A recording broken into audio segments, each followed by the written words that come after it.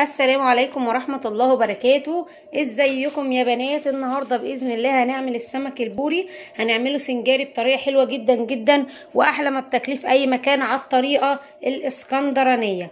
معايا كيلو سمك بوري. هبدأ أنضفه. هقول بسم الله معايا كيس هتفتحي شنطة كده وتفرشيها.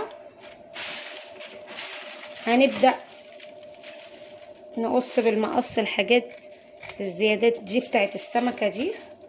أهو.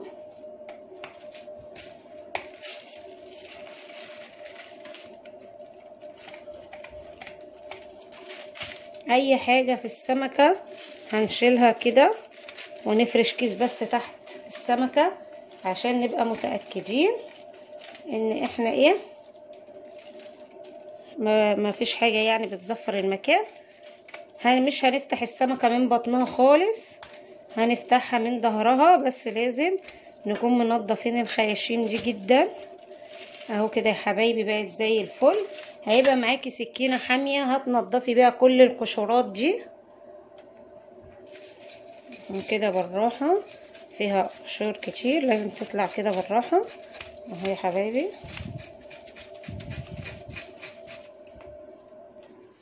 اهو يا حبايبي بعد ما غ... نضفتها غسلت شطفتها كده تحت المية. بصوا حبايبي هيجي هنيجي من تحت عند السلسلة كده وهبدأ أفتح أقول بسم الله. ومن تحت الراس كده أهو. ونحاول يبقى السكينة معانا حامية شوية. اهو يا حبايبي زي ما واضح قدام حضراتكم بالراحة. عشان لحم السمك البوري بيبقى طري جدا. اهو. وهنغوط بالسكينة لجوه كده بالراحه برضو. مراعيين إن اللحم ما يتهرش مننا. أهو. هاي كده يا حبايبي. هاجي عند الراس بقى وهتك جامد ولازم يكون السكينة اللي معايا حامية جامد عشان أعرف أكسر الراس.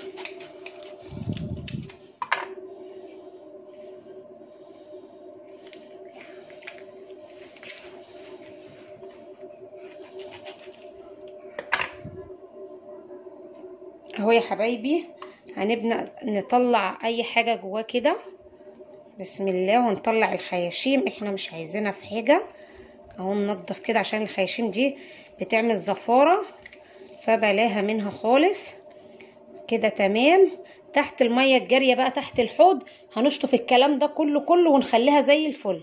يا حبايبي بعد ما خليتها زي الفل آه هنزل عليها برشة ملح على كل السمكة كده. النقطة دي مهمة جدا. ولو حابين نحط من ورا برضو ماشي عشان تبقى متهيئة ونخلي بالنا إن السمك البوري مش بيحب التوابل ولا بيحب الملح الزيادة عشان يدينا طعمه الجميل. أهو. هنعصر ليمونة على السمكة كده. أهو. وهجيب معايا زيت. أحط على السمكة كده. ولو عندك زيت زيتون ماشي زيت عادي ماشي. أنا استعملت الزيت العادي. أعملها كده. وأركنها على جنب ونشوف الخلطة بتاعة السنجاري معايا أهو يا حبايبي خلطة السنجاري. معايا بصلاية ضربها في الكبة أو ممكن تخرطيها. ومعايا جزر ما, ما قطعاه صغير معايا فلفل ألوان معايا أحمر وأصفر وأخضر ومعايا طماطماية ومعايا ليمونتين ليمونتين قطعيهم كده ونضفيهم ويلا معايا نعمل الخلطة على طول على النار. حطيت طاسة على النار وهنزل بشوية زيت حلوين كده. هنزل بالبصل بتاعي. أهو يا حبايبي نزلت بالبصل أنا مش هحمره ومش هسوي الخضار اللي معايا ده أنا يا دوبك بديله صدمة. هنزل بالجزر. أهو نراعي إن إحنا بس نقلبها كده اللي هي يا دوبك. إيه ما حتى ما تاخدش لون هي يا دوبك بس. إحنا بندي الخضار صدمة عشان يبقى معسل معانا في السمك هنزل ببقية الفلفل اللي معايا والطماطم وكل حاجة كده. ومعايا فلفل حامي برضو ده حسب الرغبة. أهو. هقلب كل المكونات بتاعتي مع بعض وهجيب التوابل اللي هحطها. أهو ما خدش مني أي وقت أنا يا دوبك قلبت تقلب فيه. أهو يا حبايبي أنا كده طفيت على الخلطة بتاعتي أهو. هنزل بعصير الليمونتين وأراعي إن أنا خلاص أبقى قافلة النار عشان الليمون معايا ما يمررش. أهو يا حبايبي عصرت الليمونتين. معايا بقى نص معلقة ملح أو معلقة ملح كده صغيرة. معايا نص معلقة فلفل أسود. معايا كزبرة ناشفة نص معلقة. معايا شوية كمون. حوالي برضو نص معلقة. وهقلب الخليط. ويلا عشان نحشي السمك بتاعنا. اهو يا حبايبي معايا ورق حراري. هجيب السمكية بتاعتي كده. وهحطها كده وأحاول احوط عليها.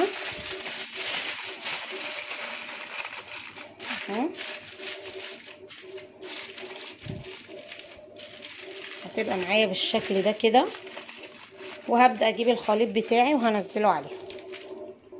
أهو يا حبايبي نحط الخليط كده في النص.